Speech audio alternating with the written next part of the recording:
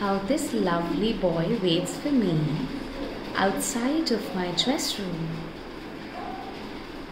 I love you, Oscar.